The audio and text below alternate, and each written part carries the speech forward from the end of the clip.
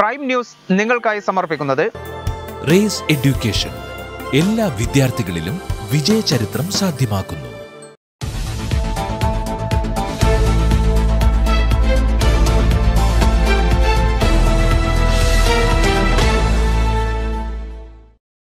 നമസ്കാരം. Kerala vision prime edition ആരംഭിക്കുന്നു. ആദ്യം പ്രധാന വാർത്തകൾ. ജില്ലയിൽ വ്യത്യസ്ത അപകടങ്ങളിലായി പൊലിഞ്ഞത് അഞ്ചു ജീവനുകൾ. വെളിയങ്കോട്ട് കാറും ലോറിയും കൂട്ടിയിടിച്ച് രണ്ടു സ്ത്രീകൾ മരിച്ചു. മരിച്ചത് നഴ്സുമാരായ സുഷ രാധാബായ് എന്നിവർ. മദ്യലഹരിയിൽ യുവാക്കൾ ഓടിച്ച കാറിടിച്ചു മാധ്യമപ്രവർത്തകൻ കൊല്ലപ്പെട്ടു. പൊന്നാനി എൻ ചാനൽ വാർത്താവതാരകൻ വിക്രമനാണ് മരിച്ചത്. എടരിക്കോട് വാഹനാപകടത്തിൽ ഒരു മാസം പ്രായമുള്ള കുഞ്ഞ് മരിച്ചു. നിലമ്പൂരിൽ ബൈക്ക് അപകടത്തിൽ പരിക്കേറ്റ് ചികിത്സയിലായിരുന്ന കെ ജീവനക്കാരനും മരിച്ചു. വളാഞ്ചേരിയിൽ പതിനാലുകാരിയെ എട്ടു വർഷം പീഡിപ്പിച്ച അച്ഛൻ അറസ്റ്റിൽ. കുട്ടിയുടെ പരാതിയിൽ ചൈൽഡ് ലൈനിന്റെ നിർദ്ദേശപ്രകാരമാണ് വളാഞ്ചേരി പോലീസ് അറസ്റ്റ് ചെയ്തത്. കോടതിയിൽ ഹാജരാക്കിയ പ്രതിയെ റിമാൻഡ് ചെയ്തു. ഡി സി സി പ്രസിഡന്റ് സ്ഥാനം കിട്ടാത്ത ആര്യാടൻ ഷൗക്കത്തിനെ ജനറൽ സെക്രട്ടറിയാക്കാൻ നീക്കം. ഷൗക്കത്തിനെ ജനറൽ സെക്രട്ടറി സ്ഥാനത്തേക്ക് നിർദ്ദേശിച്ച എ ഗ്രൂപ്പ് നീക്കം കെ പി സി സി ഭാരവാഹി പട്ടിക പ്രഖ്യാപിക്കാൻ ഒരുങ്ങുന്നതിനിടെ തടയിടാൻ എ ഗ്രൂപ്പിലെ തന്നെ ഒരു വിഭാഗം. എൻ എസ് എസ് സംസ്ഥാന പുരസ്കാരങ്ങളിൽ അഞ്ചെണ്ണം കാലിക്കറ്റ് സർവകലാശാലയ്ക്ക്. മികച്ച പ്രോഗ്രാം ഓഫീസർ പുരുഷ വനിതാ വളണ്ടിയർമാർക്കുള്ള പുരസ്കാരങ്ങളാണ് കാലിക്കറ്റ് സർവകലാശാലയ്ക്ക് കീഴിലെ കോളേജുകൾക്ക് ലഭിച്ചത്. സംസ്ഥാനത്ത് കർഷകർ ഐക്യദാർഢ്യം പ്രഖ്യാപിച്ചിട്ടുള്ള ഹർത്താൽ സമാധാനപരം പൊതുഗതാഗതം പാടെ നിലച്ചു സ്വകാര്യ വാഹനങ്ങൾ നിരത്തിലിറങ്ങിയെങ്കിലും തടഞ്ഞില്ല. സംയുക്ത കർഷക മോർച്ചയുടെ ഭാരത ബന്ദിന് ഐക്യദാർഢ്യം. കേരളത്തിൽ ആശ്വാസത്തിന്റെ കോവിഡ് കണക്കുകൾ പതിനൊന്നായിരത്തി അറുന്നൂറ്റി തൊണ്ണൂറ്റി ഒൻപത് പേർക്ക് രോഗബാധ എൺപതിനായിരത്തി മുന്നൂറ്റി എഴുപത്തിരണ്ട് സാമ്പിളുകൾ പരിശോധിച്ചു. പതിനേഴായിരത്തി എഴുന്നൂറ്റി അറുപത്തി മൂന്ന് പേർ രോഗമുക്തരായി. ജില്ലയിൽ കോവിഡ് രോഗികളുടെ എണ്ണം ആയിരത്തിൽ താഴെ. തൊള്ളായിരത്തി നാൽപ്പത്തിരണ്ട് പേർക്ക് രോഗം ആയിരത്തി തൊള്ളായിരത്തി നാൽപ്പത്തിയേഴ് പേർ രോഗമുക്തരായി.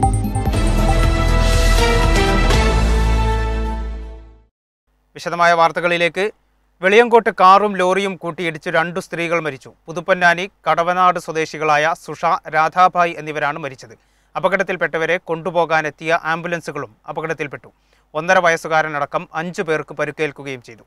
ചാവക്കാട് പൊന്നാനി ദേശീയപാതയിൽ പുതിയിരുത്തി സ്കൂൾ പടിയിൽ ഉച്ചയ്ക്ക് ഒരു മണിയോടെയാണ് കാറും ലോറിയും കൂട്ടിയിടിച്ച അപകടമുണ്ടായത്. വാഹനാപകടത്തിൽ രണ്ടു പേർ മരിച്ചു. പുതുപൊന്നാനി കടവനാട് സ്വദേശികളായ തണ്ടിലത്ത മോഹൻ ഭാര്യ ഷുഷ രാധാബായി എന്നിവരാണ് മരണപ്പെട്ടത്. അപകടത്തിൽ പരിക്കുപറ്റിയ മോഹനൻ ശശി ഒന്നര വയസ്സുകാരനായ കുട്ടി ലോറി ഡ്രൈവർ ശിവാജി സഹായ് സിദേശൻ എന്നിവരെ ചാവക്കാട് ഹയാത്ത് ആശുപത്രിയിൽ പ്രവേശിപ്പിച്ചു. മരണപ്പെട്ട രാധാബായ് പൊന്നാനി താലൂക്ക് ആശുപത്രിയിലെ നഴ്സായിരുന്നു. മാതൃശിശു ആശുപത്രിയിലെ നഴ്സാണ് സുഷ. അതേസമയം അപകടത്തിൽ പരിക്കേറ്റവരെ കൊണ്ടുപോകാൻ പോയ ആംബുലൻസുകളും അപകടത്തിൽപ്പെട്ടു. ചാവക്കാട് പൊന്നാനി ദേശീയപാതയിൽ പുതുപൊന്നാനി സെന്ററിലാണ് അക്ലാട് വി കെയർ ആംബുലൻസും കുന്നേർക്കുളം കൂട്ടായ്മ ആംബുലൻസും അപകടത്തിൽപ്പെട്ടത്. സ്കൂൾ പടി ലോറിയും കാറും കൂട്ടിയിടിച്ചുണ്ടായ അപകടത്തിൽ പരിക്കുപറ്റി പൊന്നാനി ആശുപത്രിയിൽ പ്രവേശിപ്പിച്ചിട്ടുണ്ടായിരുന്നവരെ മറ്റൊരു ആശുപത്രിയിലേക്ക് കൊണ്ടുപോകാനായി പുറപ്പെട്ട ആംബുലൻസുകളാണ് അപകടത്തിൽപ്പെട്ടത്. പൊന്നാനിയിൽ മദ്യലഹരിയിൽ യുവാക്കൾ കാറിടിച്ചു കൊലപ്പെടുത്തിയ മാധ്യമപ്രവർത്തകന്റെ മൃതദേഹം സംസ്കരിച്ചു. എൻ സി വി ചാനലിലും വീട്ടിലും പൊതുദർശനത്തിന് വെച്ച വിക്രമിന്റെ മൃതദേഹം ഈശ്വരമംഗലം ശ്മശാനത്തിൽ സംസ്കരിച്ചു. മാധ്യമപ്രവർത്തകരുടെ നേതൃത്വത്തിൽ അനുസ്മരണ യോഗവും ചേർന്നു. വൈകുന്നേരം നാല് മണിയോടെയാണ് പൊന്നാനി ഈശ്വരമംഗലം ശ്മശാനത്തിൽ വിക്രമന്റെ മൃതദേഹം സംസ്കരിച്ചത്. രാവിലെ പോസ്റ്റ്മോർട്ടം നടപടികൾക്ക് ശേഷം വിട്ടു നൽകിയ മൃതദേഹം ആദ്യം എൻ ചാനലിലും പിന്നീട് കുറ്റിക്കാട്ടെ വീട്ടിലും പൊതുദർശനത്തിന് വെച്ചു. രാഷ്ട്രീയ സാംസ്കാരിക സാമൂഹിക രംഗത്ത് നിന്നടക്കം സമൂഹത്തിന്റെ നാനാതുറകളിൽ നിന്നായി നൂറുകണക്കിന് ആളുകൾ ആദരാഞ്ജലി അർപ്പിക്കാനെത്തി. തുടർന്ന് മതാചാര പ്രകാരം മൃതദേഹം സംസ്കരിച്ചു. പൊന്നാനിയിലെ മാധ്യമപ്രവർത്തകരുടെ നേതൃത്വത്തിൽ അനുശോചന യോഗവും ചേർന്നു. Kerala vision M D Rajmohan Mampra അധ്യക്ഷത വഹിച്ചു. P Nandakumar M L A അനുശോചന യോഗം ഉദ്ഘാടനം ചെയ്തു. ഞായറാഴ്ച രാത്രി പതിനൊന്ന് മുപ്പതോടെ പൊന്നാനി പുഴമ്പ്രത്ത് മദ്യലഹരിയിൽ യുവാക്കൾ ഓടിച്ച കാർ ബൈക്കിലിടിച്ചാണ് വിക്രമൻ കൊല്ലപ്പെട്ടത്. ജോലി കഴിഞ്ഞു വീട്ടിലേക്ക് പോകുകയായിരുന്ന വിക്രമന്റെ ബൈക്കിനെ കാർ ഇടിച്ചു തെറിപ്പിക്കുകയായിരുന്നു.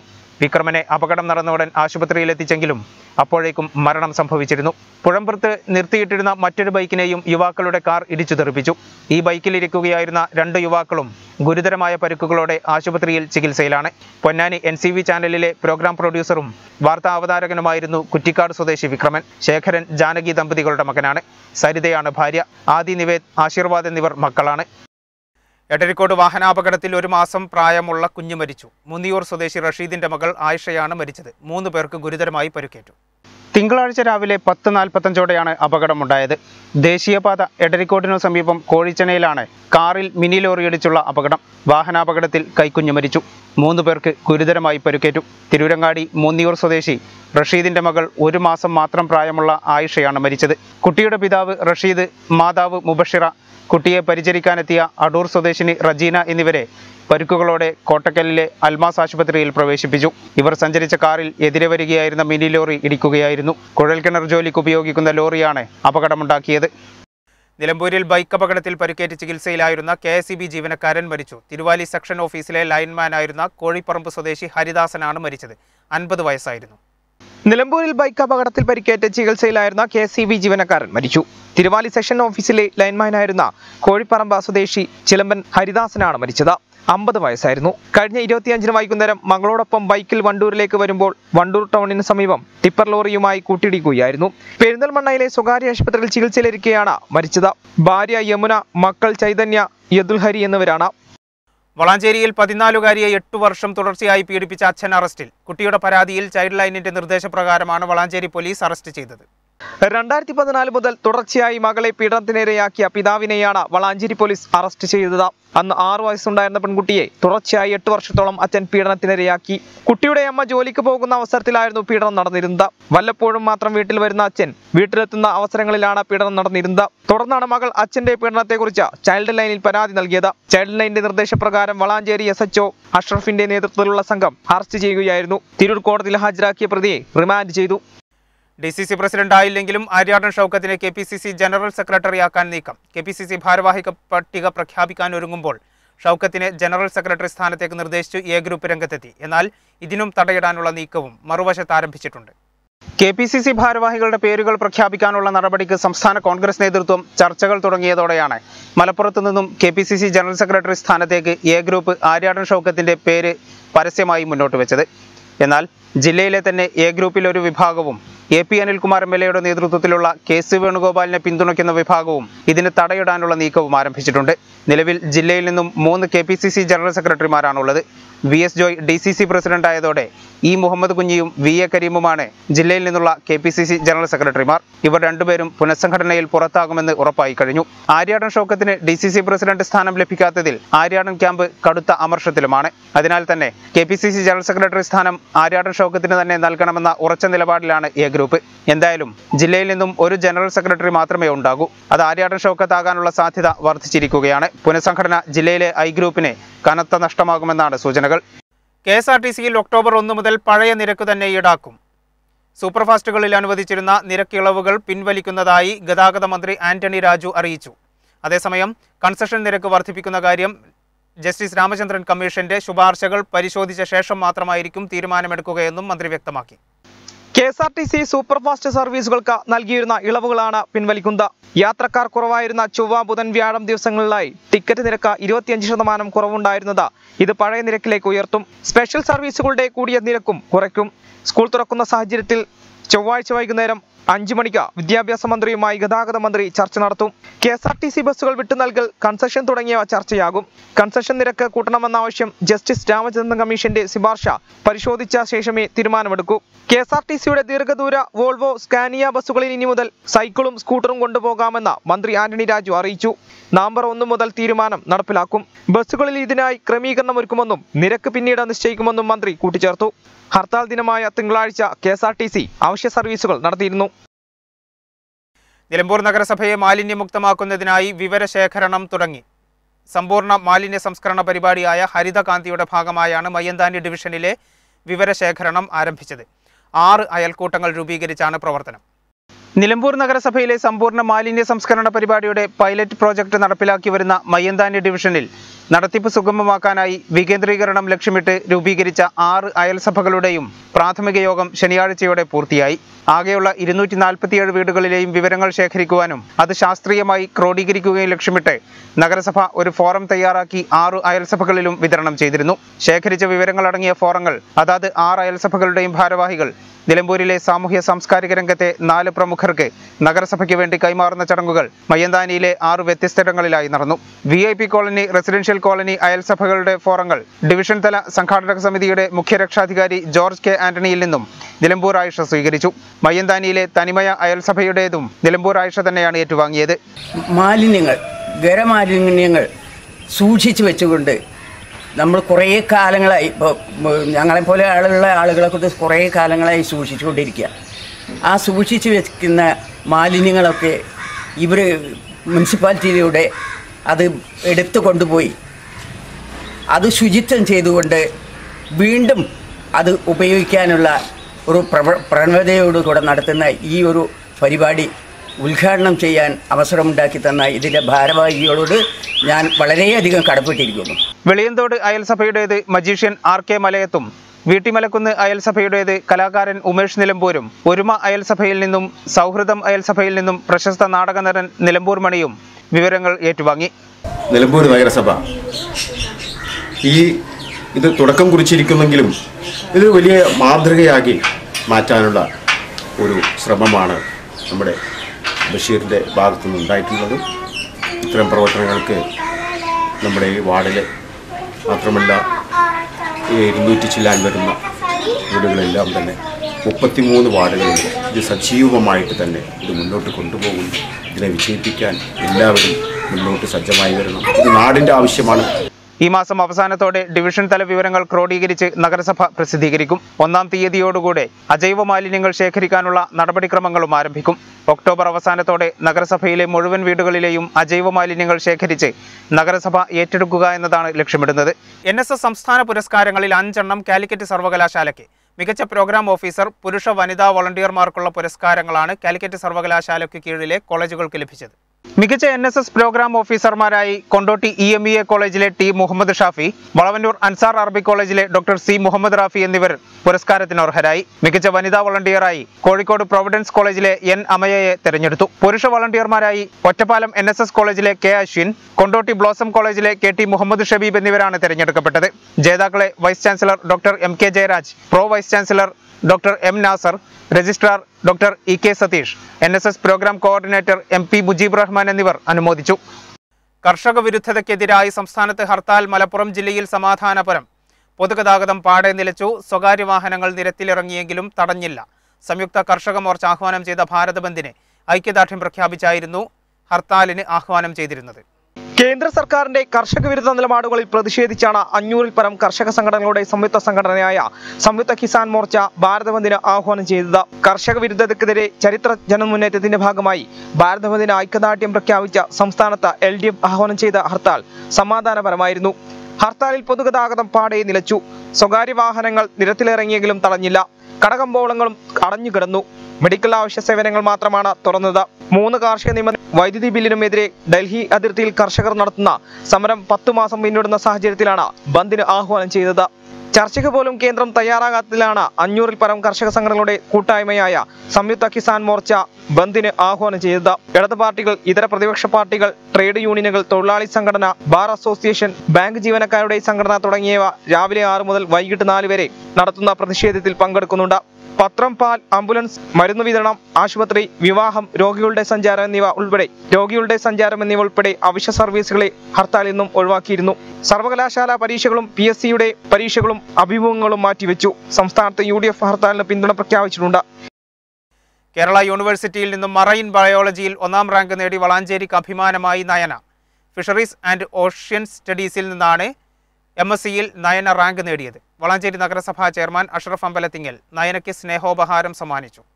Kerala university of fisheries and ocean സ്റ്റഡീസിൽ നിന്ന് എം എസ് സി മറൈൻ ബയോളജിയിൽ ഒന്നാം റാങ്ക് നേടി അഭിമാനമായി മാറിയ ടി എം നയനയ്ക്ക് വളാഞ്ചേരി നഗരസഭ വിദ്യാഭ്യാസ കലാകായിക സ്റ്റാൻഡിംഗ് കമ്മിറ്റിയുടെ സ്നേഹോപകാരം നഗരസഭാ ചെയർമാൻ അഷ്റഫ് അമ്പലന്തികൾ നൽകി.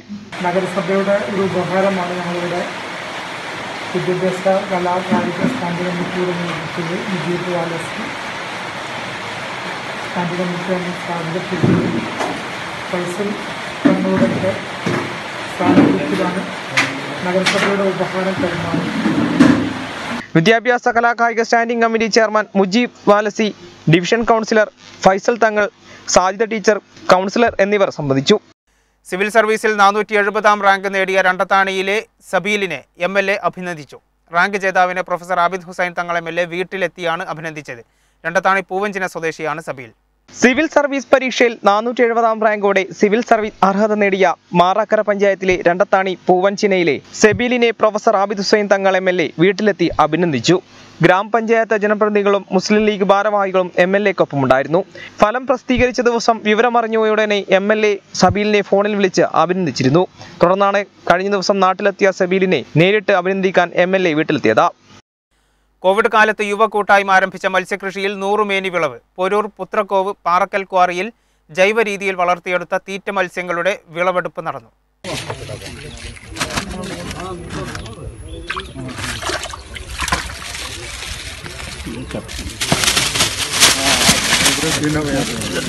കോവിഡ് കാലത്ത് വെറുതെ ഇരുന്നപ്പോൾ മൂന്ന് യുവാക്കളുടെ കൂട്ടായ്മയുടെ തലയിൽ ഉദിച്ചതായിരുന്നു മത്സ്യകൃഷി എന്ന ആശയം. പോരൂർ കാരാട് സ്വദേശികളും സുഹൃത്തുക്കളുമായ മൂന്ന് യുവാക്കളാണ് കൃഷി ആരംഭിച്ചത്. പാറക്കൽ ക്വാറിയിൽ പാട്ടത്തിനെടുത്ത സ്ഥലത്ത് പടുതാക്കുളത്തിൽ തീറ്റ മത്സ്യങ്ങളുടെ കൃഷി ആരംഭിക്കുകയും ചെയ്തു. പത്തു മാസങ്ങൾക്കിപ്പുറം നൂറുമേനി വിളവുമായാണ് യുവാക്കളുടെ കൂട്ടായ്മ കൃഷിയിടത്തിൽ നിന്ന് കയറുന്നത്. സുഹൃത്തുക്കളും Karad സ്വദേശികളുമായ P Gireesh S Pramesh M Pramod A Vineeth എന്നിവർ ചേർന്നാണ് പോരൂർ പുത്രക്കോവ് പാറക്കൽ ക്വാറിയിൽ ജൈവരീതിയിൽ തീറ്റ മത്സ്യങ്ങളുടെ കൃഷി ആരംഭിച്ചത്. പോരൂർ പഞ്ചായത്തിലെ ഇങ്ങനെ പുതിയ രീതി കെ ജി എന്ന രീതിയിലുള്ള ഒരു വളർത്തലാണ് ഇവിടെ നട നടത്തുന്നത്. ഇതേ രീതി നടത്തുമ്പോൾ ഇതിനൊരുപാട് ഭീമമായ സംഖ്യ ചെലവുണ്ട്. പക്ഷേ ഇതിന്റെ വരുമാനം ജൈവ രീതിയിലാവുമ്പോൾ കുറവായിരിക്കും. അതുകൊണ്ട് തന്നെ നമ്മളിത് ജൈവ രീതിയിലുള്ള മത്സ്യമായതുകൊണ്ട് നമുക്ക് വേറെ പറഞ്ഞ പോലെ ആളുകൾക്ക് മറ്റ് ദോഷങ്ങളില്ലാത്ത രീതിയിലുള്ള മത്സ്യം നമുക്ക് കഴിക്കാൻ സാധിക്കും. അതേപോലെ രണ്ട് ഇനം മത്സ്യത്തിന്റെ വിതരണമാണ് നടക്കുന്നത്. നെട്രും ഫിലോപ്പി ഫിലോപ്പി എന്നീ രണ്ടിനങ്ങൾ. തിലോപ്പിയ നട്ടർ തുടങ്ങിയ മത്സ്യക്കുഞ്ഞുങ്ങളെയാണ് നിക്ഷേപിച്ചത്. പതിനയ്യായിരം മത്സ്യക്കുഞ്ഞുങ്ങളെയാണ് ഒരേക്കറിൽ നിക്ഷേപിച്ചത്. തികച്ചും ജൈവ രീതിയിലുള്ള തീറ്റയായതിനാൽ രുചി കൂടുതലാണെന്നാണ് കൃഷിയുടെ മേൽനോട്ടക്കാരനായ കെ ശശിധരൻ പറയുന്നത്. നൂറുമേനി വിളഞ്ഞ മത്സ്യകൃഷിയുടെ വിളവെടുപ്പ് നടന്നു. പഞ്ചായത്ത് പ്രസിഡന്റ് നീലേങ്ങാടൻ മുഹമ്മദ് ബഷീർ വിളവെടുപ്പ് ഉദ്ഘാടനം ചെയ്തു. നായയെ ജീവനോടെ വിഴുങ്ങി അനങ്ങാനാകാതെ കിടന്ന മലമ്പാമ്പ് പിടിയിലായി. ശനിയാഴ്ച രാത്രിയോടെ തൃശൂർ നാട്ടിക ഇയാനി ക്ഷേത്രത്തിനടുത്താണ് നായയെ വിഴുങ്ങുന്ന മലമ്പാമ്പിനെ പ്രദേശവാസികൾ കണ്ടത്. ശനിയാഴ്ച രാത്രിയോടെ തൃശൂർ നാട്ടിക ഇയാനി ക്ഷേത്രത്തിനടുത്താണ് നായയെ വിഴുങ്ങുന്ന മലമ്പാമ്പിനെ പ്രദേശവാസികൾ കണ്ടെത്തിയത്. സംഭവം കണ്ടവർ കൂടുതൽ ആളുകളെ വിളിച്ചുകൂട്ടിയെത്തിയപ്പോഴേക്കും പാമ്പിനെ കാണാതായിരുന്നു. രാത്രിയായതിനാൽ പാമ്പിനായുള്ള തിരച്ചിൽ നിർത്തിവെച്ചു. തുടർന്ന് ഞായറാഴ്ച രാവിലെ നടത്തിയ തിരച്ചിലിലാണ് ക്ഷേത്രത്തിനടുത്ത കുറ്റിക്കാട്ടിൽ ഇരവിഴുങ്ങി വീർത്ത വയറുമായി അനങ്ങാനാകാതെ കിടന്നിരുന്ന മലമ്പാമ്പിനെ കണ്ടെത്തിയത്.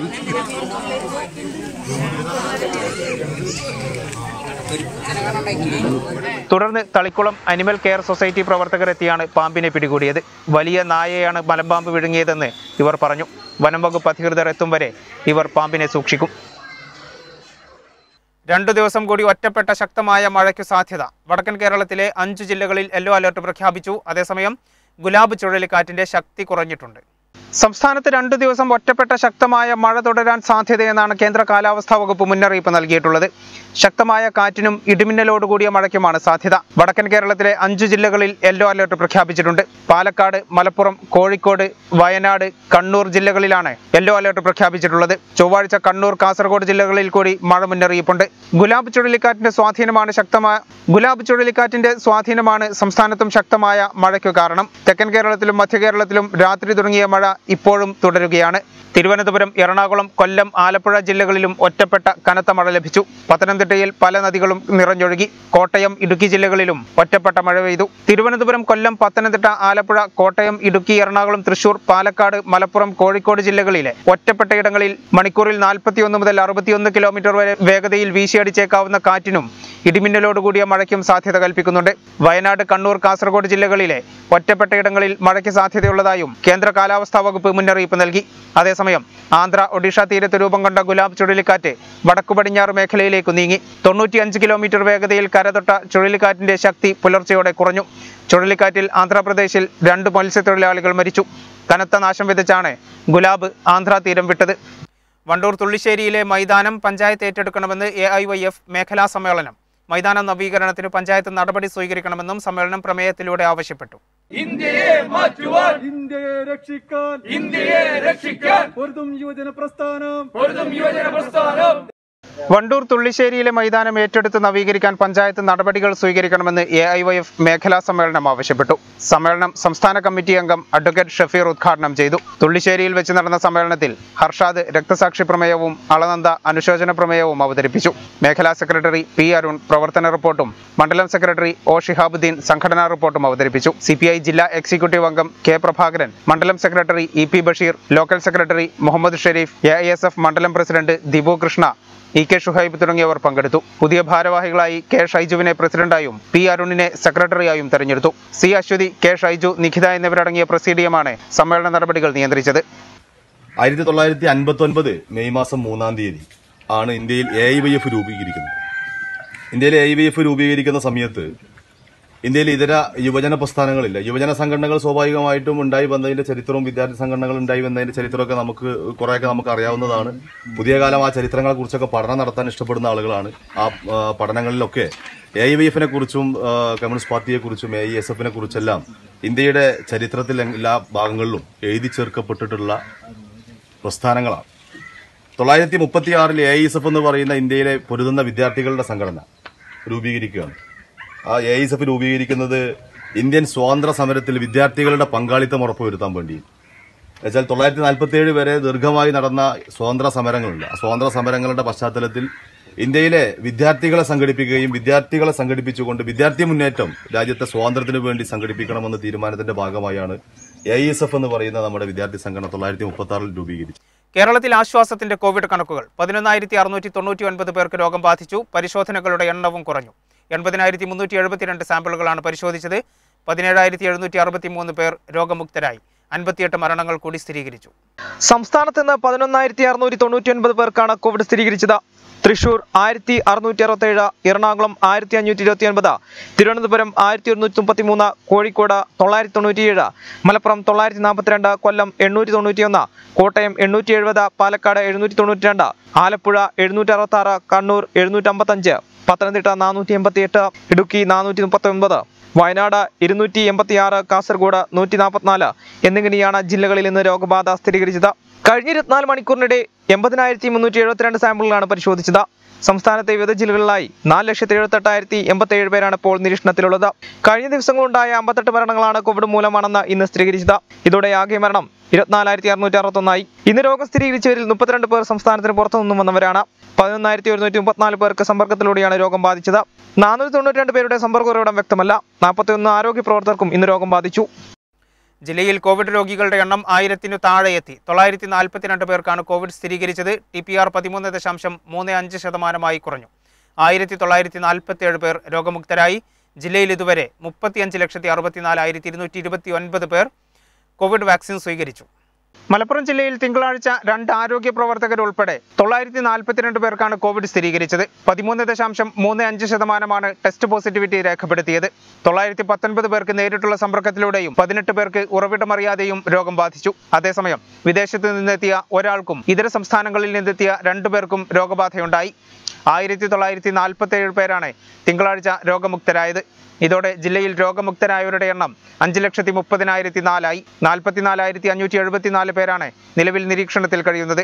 പതിനാലായിരത്തി എണ്ണൂറ്റി എഴുപത്തി മൂന്ന് പേർ വിവിധ കേന്ദ്രങ്ങളിലായി ചികിത്സയിലുണ്ട്. പ്രത്യേക ചികിത്സാ കേന്ദ്രങ്ങളായ ആശുപത്രികളിൽ എഴുന്നൂറ്റി നാൽപ്പത്തിയഞ്ച് പേരും ഫസ്റ്റ് ലൈൻ ട്രീറ്റ്മെന്റ് സെന്ററുകളിൽ നൂറ്റി എൺപത്തിയെട്ട് പേരും എൺപത്തിയെട്ട് പേർ സെക്കൻഡ് ലൈൻ ട്രീറ്റ്മെന്റ് സെന്ററുകളിലുമാണ്. ഡൊമിസിലിയറി കെയർ സെന്ററുകളിൽ അറുപത്തിയൊന്ന് പേരും ശേഷിക്കുന്നവർ വീടുകളിലും മറ്റുമായും നിരീക്ഷണത്തിൽ കഴിയുന്നു. അതേസമയം ജില്ലയിൽ ഇതുവരെ മുപ്പത്തഞ്ച് ലക്ഷത്തി അറുപത്തിനാലായിരത്തി ഇരുന്നൂറ്റി ഇരുപത്തി ഒൻപത് പേർ കോവിഡ് വാക്സിൻ സ്വീകരിച്ചതായി ജില്ലാ medical officer doctor K Sakeen അറിയിച്ചു. ഇരുപത്തിയാറ് ലക്ഷത്തി എൺപത്തി മൂവായിരത്തി ഒരുന്നൂറ്റി മുപ്പത്തിയെട്ട് പേർക്ക് ഒന്നാം ഡോസും എട്ട് ലക്ഷത്തി എൺപത്തി ഒരായിരത്തി തൊണ്ണൂറ്റിയൊന്ന് പേർക്ക് രണ്ടാം ഡോസുമാണ് നൽകിയത്.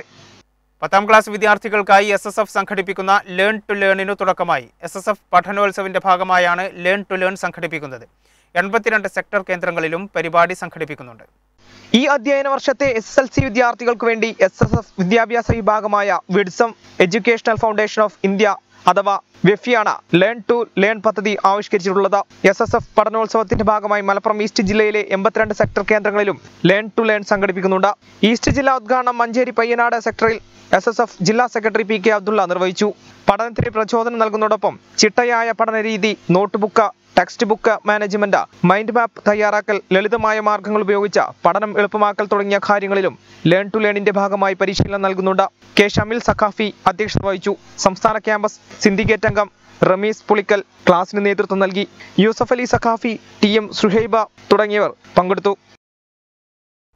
ലോക ടൂറിസം ദിനത്തിൽ ഓലമിടയൽ മത്സരവുമായി ജില്ലാ tourism promotion council. Tourism promotion കൗൺസിലിന്റെ നേതൃത്വത്തിൽ ആഘോഷ പരിപാടികൾക്ക് തുടക്കമായി. നിള പാർക്കിലാണ് വനിതകൾക്കായി തെങ്ങോലമെടയൽ മത്സരം സംഘടിപ്പിച്ചത്. കുറ്റിപ്പുറം പഞ്ചായത്ത് പ്രസിഡന്റ് റംല കറത്തൊടി ഉദ്ഘാടനം ചെയ്തു. ജില്ലാ ടൂറിസം പ്രൊമോഷൻ കൗൺസിലിന്റെ ആഭിമുഖ്യത്തിൽ നാൽപ്പതോളം സ്ത്രീകൾ പങ്കെടുത്ത പരമ്പരാഗത ഓലമടച്ചിൽ മത്സരത്തോടെ ആഘോഷ പരിപാടികൾക്ക് തുടക്കമായി. പരിപാടി കുറ്റിപ്പുറം ഗ്രാമപഞ്ചായത്ത് പ്രസിഡന്റ് റംല കാറത്തോടി ഉദ്ഘാടനം ചെയ്തു. പഞ്ചായത്തംഗം Rajitha അധ്യക്ഷയായിരുന്നു. Sharaf Ali D T P C destination മാനേജർമാരായ മോനിറ്റി Polissery Salam Thanikkad Ummer Chirakkal തുടങ്ങിയവർ ആശംസകൾ അർപ്പിച്ചു നാല് മിനിറ്റ് കൊണ്ട് ഓലമടഞ്ഞ് പടിഞ്ഞാറക്കര ബീച്ചിലെ സുജാത ഒന്നാം സ്ഥാനം നേടി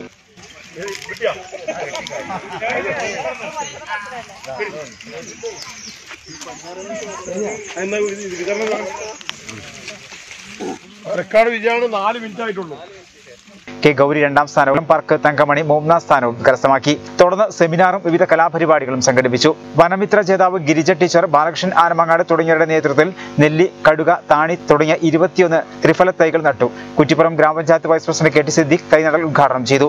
വരും ദിവസങ്ങളിൽ ജില്ലയിലെ എല്ലാ ടൂറിസ്റ്റ് കേന്ദ്രങ്ങളിലും വിവിധ പരിപാടികളും ഒക്ടോബർ രണ്ടിന് ഗാന്ധി ജയന്തി ദിനത്തിൽ എല്ലാ കേന്ദ്രങ്ങളും ശുചീകരണ പരിപാടികളും സംഘടിപ്പിക്കും. ഈ ബുള്ളറ്റിൻ പൂർണമാകും മുമ്പായി പ്രധാന വാർത്തകൾ ഒരിക്കൽ കൂടി. ജില്ലയിൽ വ്യത്യസ്ത അപകടങ്ങളിലായി പൊലിഞ്ഞത് അഞ്ചു ജീവനുകൾ. വെളിയങ്കോട്ട് കാറും ലോറിയും കൂട്ടിയിടിച്ച് രണ്ടു സ്ത്രീകൾ മരിച്ചു. മരിച്ചത് നഴ്സുമാരായ സുഷ രാധാബായ് എന്നിവർ. മദ്യലഹരിയിൽ യുവാക്കൾ ഓടിച്ച കാറിടിച്ചു മാധ്യമപ്രവർത്തകൻ കൊല്ലപ്പെട്ടു. പൊന്നാനി എൻ ചാനൽ വാർത്താവതാരകൻ വിക്രമനാണ് മരിച്ചത്. എടരിക്കോട് വാഹനാപകടത്തിൽ ഒരു മാസം പ്രായമുള്ള കുഞ്ഞ് മരിച്ചു.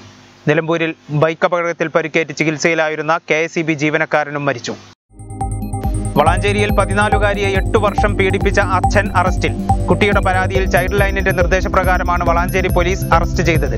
കോടതിയിൽ ഹാജരാക്കിയ പ്രതിയെ റിമാൻഡ് ചെയ്തു. ഡി സി സി പ്രസിഡന്റ് സ്ഥാനം കിട്ടാത്ത ആര്യാടൻ ഷൗക്കത്തിനെ ജനറൽ സെക്രട്ടറിയാക്കാൻ നീക്കം. ഷൗക്കത്തിനെ ജനറൽ സെക്രട്ടറി സ്ഥാനത്തേക്ക് നിർദ്ദേശിച്ച എ ഗ്രൂപ്പ് നീക്കം കെ പി സി സി ഭാരവാഹി പട്ടിക പ്രഖ്യാപിക്കാൻ ഒരുങ്ങുന്നതിനിടെ തടയിടാൻ എ ഗ്രൂപ്പിലെ തന്നെ ഒരു വിഭാഗം. എൻ എസ് എസ് സംസ്ഥാന പുരസ്കാരങ്ങളിൽ അഞ്ചെണ്ണം കാലിക്കറ്റ് സർവകലാശാലയ്ക്ക്. മികച്ച പ്രോഗ്രാം ഓഫീസർ പുരുഷ വനിതാ വളണ്ടിയർമാർക്കുള്ള പുരസ്കാരങ്ങളാണ് കാലിക്കറ്റ് സർവകലാശാലയ്ക്ക് കീഴിലെ കോളേജുകൾക്ക് ലഭിച്ചത്. സംസ്ഥാനത്ത് കർഷകർ ഐക്യദാർഢ്യം പ്രഖ്യാപിച്ചിട്ടുള്ള ഹർത്താൽ സമാധാനപരം. പൊതുഗതാഗതം പാടെ നിലച്ചു സ്വകാര്യ വാഹനങ്ങൾ നിരത്തിലിറങ്ങിയെങ്കിലും തടഞ്ഞില്ല. സംയുക്ത കർഷക മോർച്ചയുടെ ഭാരത ബന്ദിന് ഐക്യദാർഢ്യം. കേരളത്തിൽ ആശ്വാസത്തിന്റെ കോവിഡ് കണക്കുകൾ. പതിനൊന്നായിരത്തി അറുന്നൂറ്റി തൊണ്ണൂറ്റി ഒൻപത് പേർക്ക് രോഗബാധ എൺപതിനായിരത്തി മുന്നൂറ്റി എഴുപത്തിരണ്ട് സാമ്പിളുകൾ പരിശോധിച്ചു. പതിനേഴായിരത്തി എഴുന്നൂറ്റി അറുപത്തി മൂന്ന് പേർ രോഗമുക്തരായി. ജില്ലയിൽ കോവിഡ് രോഗികളുടെ എണ്ണം ആയിരത്തിൽ താഴെ. തൊള്ളായിരത്തി നാൽപ്പത്തിരണ്ട് പേർക്ക് രോഗം ആയിരത്തി തൊള്ളായിരത്തി നാൽപ്പത്തിയേഴ് പേർ രോഗമുക്തരായി.